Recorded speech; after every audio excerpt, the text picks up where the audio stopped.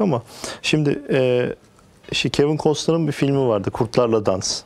Bol, Yani evet. şu an Türkiye'yi Şimdi çok şeytanlara dans yapmamız lazım. Şu an Türkiye'yi çok anlatan bir Türkiye'nin politik tavrı da bana göre şu an bir vesayet savaşı yürütüyoruz. Aslında ismi konulmamış bir mini mikro 3. Dünya Savaşı içerisindeyiz. Odak Kesin. noktası da odak noktası da maalesef bu coğrafya. Birinci Dünya Savaşı'nın odak noktasına baktığımızda biraz daha Avrupa'ya ve Afrika'ya kayıyordu. İkinci Dünya Savaşı'na dönüp baktığımızda daha genel bir hattaydı ama Avrupa odaklıydı. Şimdi bu savaşa dönüp baktığımızda Afrika'nın o sahra altından tutun da Türkiye'yi ve Orta Asya'nın Çin sınırına kadar, Hindistan sınırına kadar olan bölgeyi ustaca kurgulanmış bir savaş içerisinde görüyoruz. Türkiye bunu okuyor. Okuyor ama o kurtlarla dans ifadesi var ya orada. Şimdi kurtlarla dans ediyorsunuz. Buna uygun donanımınız çok yeterli değil. Neden? Geçmiş dönemlerden kaynaklı ciddi sorunlar var. Şu anki size baskı yapan ülkelerin üzerinizde kurguladığı ciddi baskı var. Buna kur baskısından tutun da bakın sadece Türkiye'nin derdi değil.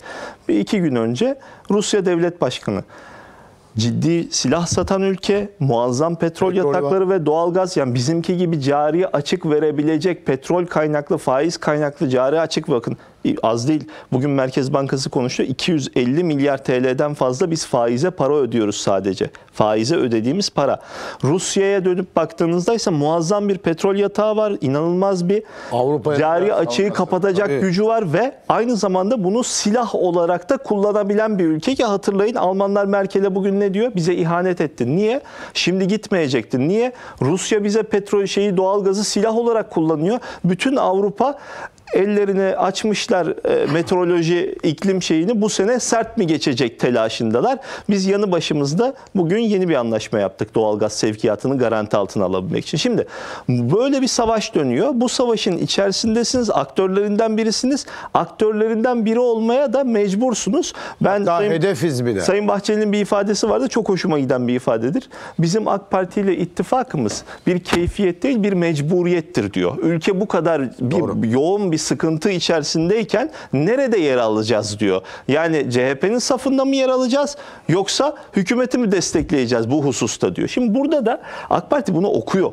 Görüyor. Yani AK Parti hükümeti bunu görüyor ama elindeki mevcut donanım buna aynı karşılığı verebilecek hani silahların eşitliği ilkesi diye bir kavram var ya aynı karşılığı verebilecek de, durumda değilsiniz. Niye? Az önce Rusya'yı niye örnek verdim? Putin bile dün şu konuşmasında şunu söylüyor. Diyor ki Amerika doların güvenilirliğini de sarsarak yarın öbür gün başka ülkelerin de dolardan artık el çekmesini, yeni arayışa girmesini riskini de göze alarak doları bir silah olarak kullanıyor üzerimizde diyor. Doğru söylüyor. Doğru. Do- bakın biz tarihin en kur büyük savaş. ihracatını yapıyoruz. İhracat demek ne demek? Tabii.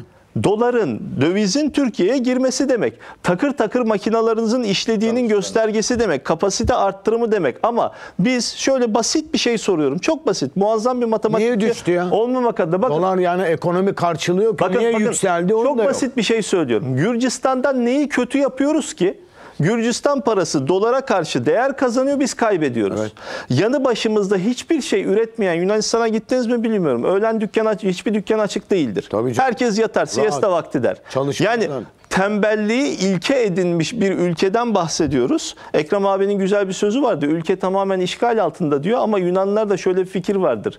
Denize girebiliyorsak plajlar bizdeyse gerek yok. Ülke işgal altında değildir gözüyle bakar. Plajlar onda ama limanlar bile Almanya'nın elinde. Ama dönüp bakıyorsunuz biz Yunanistan'dan neyi kötü yapıyoruz ki? Yunanistan neredeyse bu sene deflasyonu yaşayacak. Neredeyse. Enflasyon en az arttığı Avrupa ülkesi durumunda. Ha, anlıyorsunuz ki burada Amerika'nın en salak gibi görünen başkanı amiyane tabir kullandım ama kendileri de söylediği için kendi başkanlarına o ifadeyi kullandım.